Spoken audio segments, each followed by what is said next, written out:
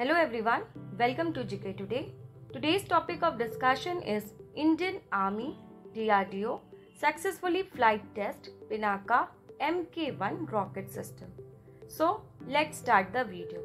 Pinaka Mk1 Enhanced Rocket System EPRS and Pinaka Area Denial Munition ADM rocket system have been successfully flight tested by Defense Research and Development Organization DRDO and Indian Army at Pokhran firing ranges.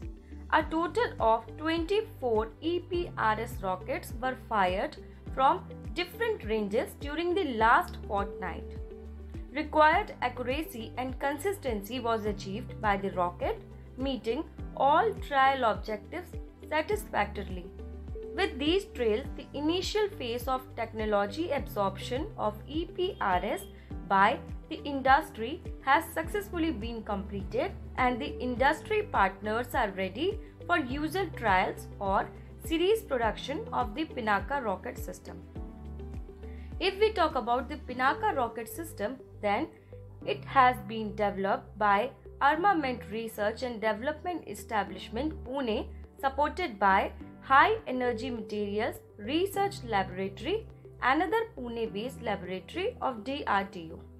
And the EPRS is the upgraded version of Pinaka variant, which has been in service with the Indian Army for the last decade.